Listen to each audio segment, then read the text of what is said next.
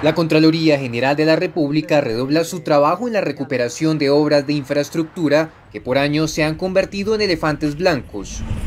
Gracias a la prevención de la Contraloría General no vamos a tener más elefantes blancos. El acueducto de un municipio es supremamente importante. Esa es la promesa del propio Contralor General Felipe Córdoba, para quien es fundamental recuperar estos recursos y obras que él mismo supervisa, como el acueducto del municipio de Santa Rosa de Osos, Antioquia.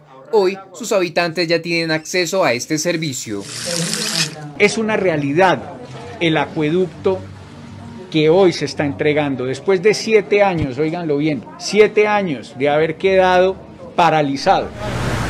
Adicionalmente, una obra más que gracias al ente de control no terminó en pérdida fue la cancha sintética del estadio de Aranzazu Caldas. 2.800 millones de pesos que iban a quedar como un elefante blanco, hoy es un elefante blanco menos para que los niños y los jóvenes puedan aprovecharlo Proyectos como la reactivación de la Ruta del Sol que beneficia a gran parte del país, el mejoramiento de vías en La Guajira, norte de Santander, Valle, Casanare y proyectos de vivienda en Colombia se han recuperado gracias a la estrategia Compromiso Colombia de la Contraloría General de la República.